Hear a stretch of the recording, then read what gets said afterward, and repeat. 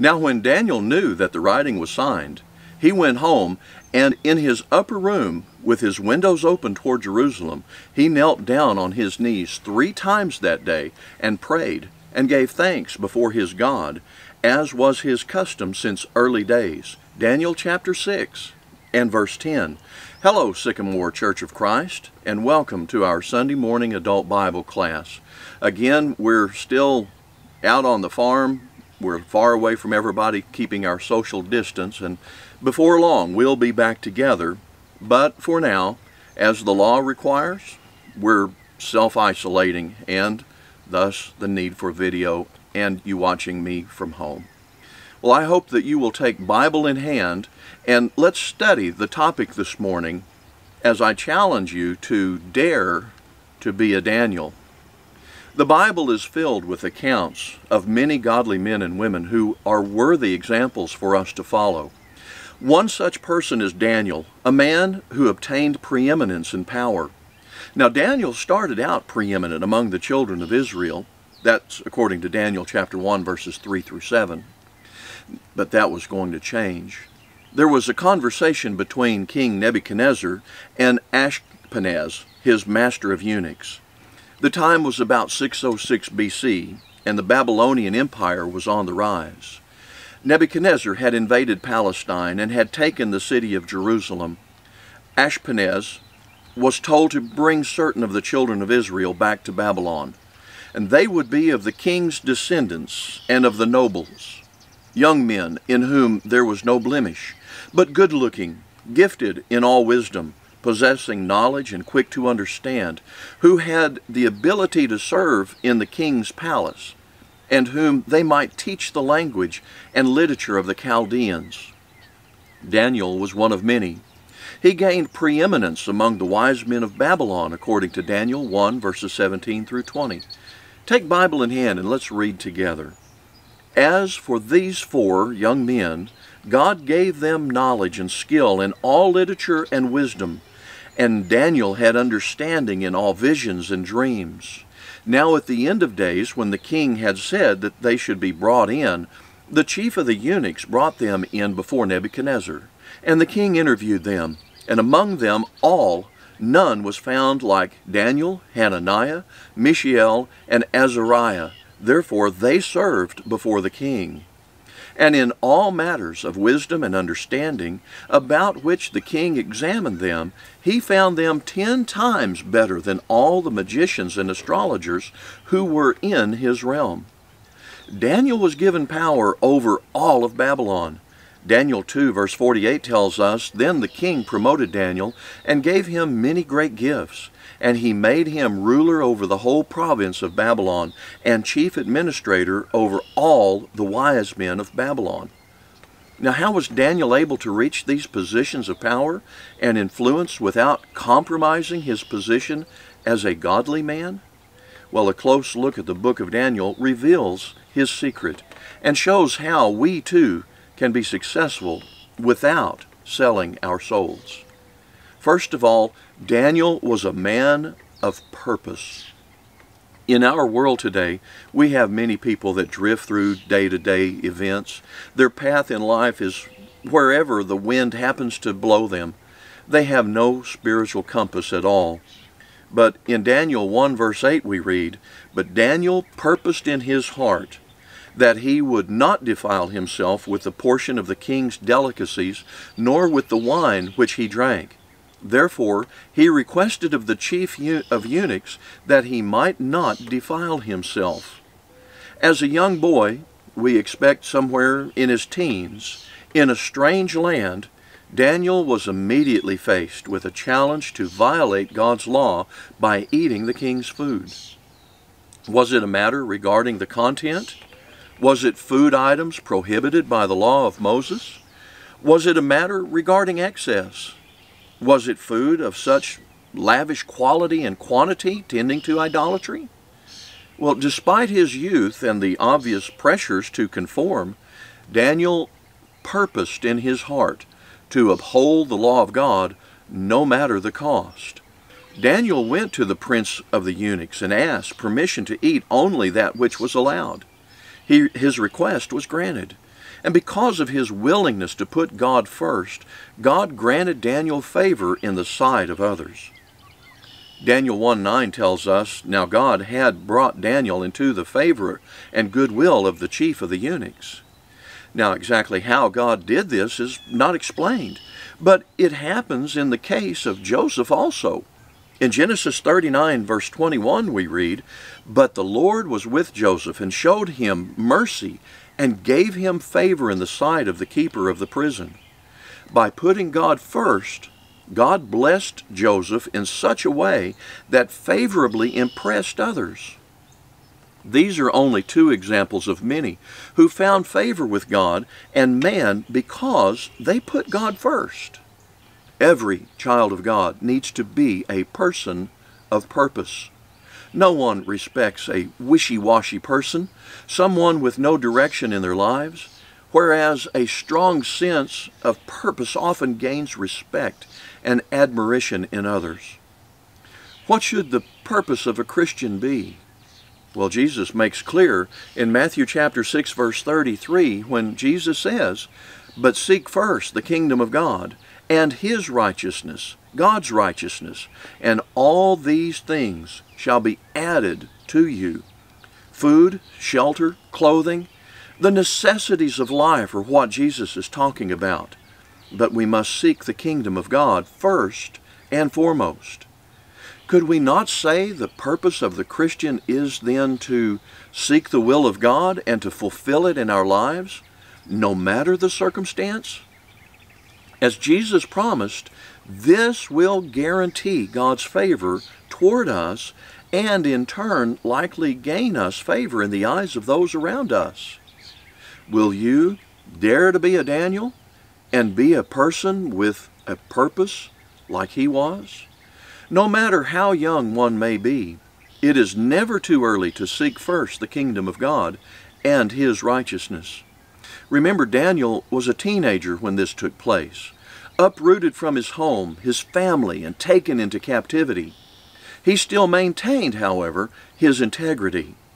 Proverbs 22, verse 6 tells us, Train up a child in the way he should go, and when he is old, he will not depart from it. Great challenge for parents today, wouldn't you say? Throughout his life, Daniel not only had a strong sense of purpose, but too, he was a man of principle. He steadfastly refused to compromise his convictions. We have already seen Daniel as a young man refusing to eat the king's food or drink the king's wine, Daniel 1.8. Now, after many years have passed, we see Daniel as an old man, refusing the gifts of another king of Babylon. Belshazzar had ascended to the throne and was now king of Babylon. And Belshazzar was a wicked ruler who was more concerned with the pleasures of the flesh than anything else. One night he threw a huge party. Thousands were invited. All his wives were there. His best friends were there.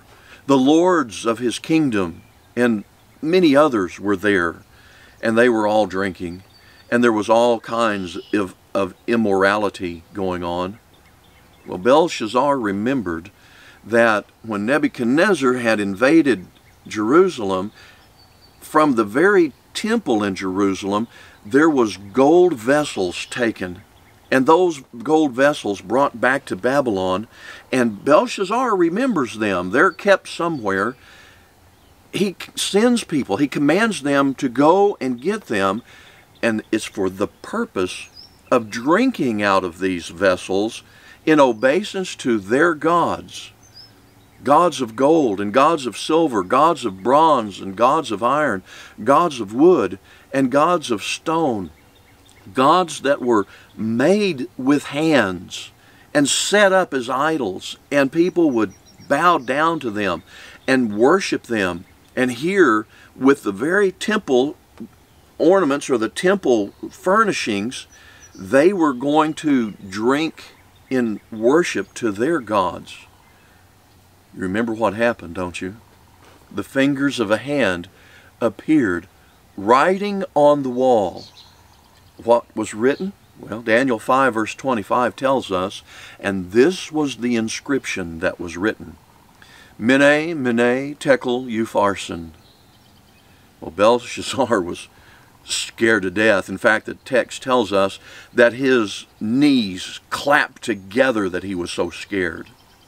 One of his wives, the queen, remembered, however, that a man by the name of Daniel had told Nebuchadnezzar the meaning of dreams and suggested that he might be called to help in this situation. Belshazzar summoned Daniel, and he was brought, and now he stands before King Belshazzar. Belshazzar asked him. And in Daniel chapter 5, verses 16 and 17, we find out what happens. And I have heard you that you can give interpretations and explain enigmas. Now, if you can read the writing and make known to me its interpretation, you shall be clothed with purple and have a chain of gold around your neck, and shall be the third ruler in the kingdom. Then Daniel answered and said before the king, Let your gifts be for yourself, and give your rewards to another. Yet I will read the writing to the king, and make known to him the interpretation. And you know that Daniel did just that. He explained exactly what that meant at great peril to his own life. And we see one more time Daniel again refusing to compromise his, his, convictions while under the threat of persecution, refusing to obey the decree of Darius in Daniel chapter 6. This is Darius the Mede. He's the king that was outside the walls of Babylon while Darius was having his drinking party. He's the one that understood that there was a river that ran under the Babylonian city wall and had stopped it up, and he and his army had marched in underneath the wall, and by the time they were discovered, it was far too late. And history records as the battle continued, the streets ran with blood, Babylonian blood. This is Darius the Mede who conquered Babylon. Darius had appointed three governors over all the country, one of them being Daniel. He intended to set Daniel over the whole kingdom. Chapter 6, verse 3. The other governors and their princes plotted, however, against Daniel. They talked to Darius, and they talked him into signing a decree that no one in the kingdom was to pray to any other god except King Darius for 30 days on pain of being thrown into the lion's den.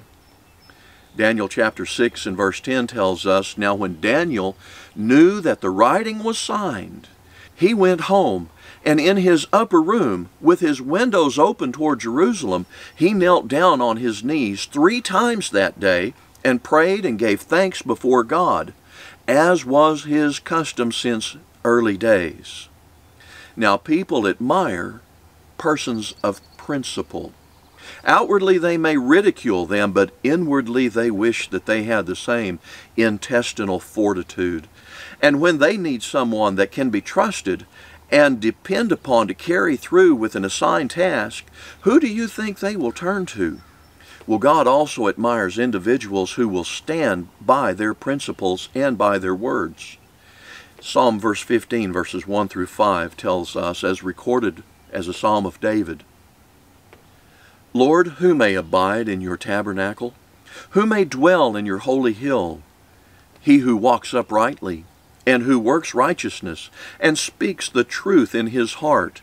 He who does not backbite with his tongue, nor does evil to his neighbor, nor does he take up a reproach against his friend, in whose eyes a vile person is despised, but he honors those who fear the Lord he who swears to his own hurt and does not change. He who does not put out his money at usury, nor does he take a bribe against the innocent. He who does these things shall never be moved. Our society is in great need of such people with this kind of principle. Those who dare to be a Daniel and demonstrate by example the value of being led by principle rather than price are not only highly valued by God, but they are also valued by their fellow man. But having purpose and principle is not all. Another element for true success is needed. What that element is can be seen when we observe that Daniel was a man of purity. His opponents could not find any fault in him, even though they looked closely. He was faultless when it came to management of his business affairs, and Darius had set over the kingdom 120 satraps to oversee parts of his kingdom. He appointed three governors, of whom Daniel was one, that the satraps might give account to them. And then Daniel 6 verses 3 and 4 tell us, Then this Daniel distinguished himself above the governors and satraps because an excellent spirit was in him, and the king gave thought to setting him over the whole realm. So the governors and satraps sought to find some charge against Daniel concerning the kingdom. But they could find no charge or fault because he was faithful nor was there any error or fault found in him. This would help to explain his rise to position of great responsibility and power. Of course, his purity in business affairs was related to his overall purpose to please God first, and the fact that he was a man of principle, well, he could simply be trusted. The Christian is also to maintain purity of conduct. Whether young or old, it makes no difference. Remember what Timothy was told by Paul in 1 Timothy 4, verse 12? Let no man despise your youth, but be an example to believers in word, in conduct, in love, in spirit, in faith, in purity. People who maintain purity in their dealings with others are often given positions of great responsibility and privilege because they can be trusted to use them wisely. Yes, Daniel was a man of purpose, principle, purity, and how the world needs more like him. But the element that likely tied all these together in such a way as to receive blessings from God and favor from man is the fact that Daniel was a man of prayer. We have seen a glimpse of his prayer life even when Daniel knew that maintaining his custom of praying to the one true God of heaven may cost him his life, even knowing a den of hungry lions awaited him, even when, as Daniel 6.10 tells us, Daniel knew that the writing was signed, he went home and in his upper room, with his windows open wide toward Jerusalem, he knelt down on his knees three times that day and prayed and gave thanks before his God, and as was his custom since early days. Daniel is a wonderful example to us in so many ways. Did you notice that he knelt in prayer? This was a demonstration of his humility. He prayed three times a day a demonstration of his continual dependence upon God. He gave thanks in the midst of persecution, a demonstration of his gratitude and the fact that he had not lost sight of God's blessings. His prayers were a custom since early days, demonstrating his persistence and faithfulness in his service to God. Is it not likely that his custom to pray so diligently helped him to remain a man of purpose, principle, and purity, despite his rise to power and preeminence over the empire? Christians would do well to follow Daniel's example of a prayerful life. Let us learn the lessons that the finest of God's servants must maintain regular and fixed prayer habits in order to continue steadfast in devotion to the Lord. As Christians, we too are to pray often. Paul admonished those in Thessalonica, 1 Thessalonians 5, verse 17, to pray without ceasing. Now, this doesn't mean that we're to go around muttering a prayer all day long, 365 days a year. That's not at all what that means. However, it does mean that we should live a life prayerfully and in good conduct, a life that is thankful to God, a, a, a, a life that is in communication with God and depending upon that close relationship with God. Paul helps us understand when he continues in verse 17 In everything give thanks, for this is the will of God in Christ Jesus for you. Paul also tells us in Colossians 4 and verse 2 continue earnestly in prayer, being vigilant in it with thanksgiving. If our efforts to live purposeful, principled, and pure lives are not what they should be, could it be a undisciplined prayer life that be the reason? Are we willing to dare to be a Daniel in regards to prayer? There is a false assumption that to get ahead in this world, one must conform to the sinful practices of this world. Do you remember the movie Liar Liar with Jim Carrey? He plays a lawyer who's divorced and has a young son who's in custody of his mother. Well, over and over, this lawyer lies to his son about being at whatever baseball practice or whatever event that's going on and this young boy is just torn up because of it. And he wishes that his father could never tell another lie, and that wish is granted. And it's hilarious to watch this lawyer try to win a case battle in court without being able to lie. And that lie just won't come out of his mouth. Well, there are many that think that they must have the ability to commit sin in order to get along in this world. But we'll take liars, for instance. In Revelation 21, verse 8, we see that all liars, in with that other list of, of, of deplorables, are going to find themselves in the lake which burns with fire and brimstone, which is the second death. Even today, there are many Christians who demonstrate that when one dares to be a Daniel, they can succeed in the affairs of men without selling their souls to the world. How about you? Will you dare to be a Daniel by being a person of purpose, a person of principle, a person of purity, and a person of prayer? To be a person of purpose, principle, purity, and prayer today, one must also be a child of God. The biggest sacrifice ever made was because of your sin and because of mine. Jesus had to leave heaven, take upon himself humanity, and die on the cross so the sin of mankind could be forgiven. To become pure from sin, a person of purity, one must go to Jesus. In John 14, verse 6, Jesus said, I am the way, the truth, and the life. No one comes to the Father except through me.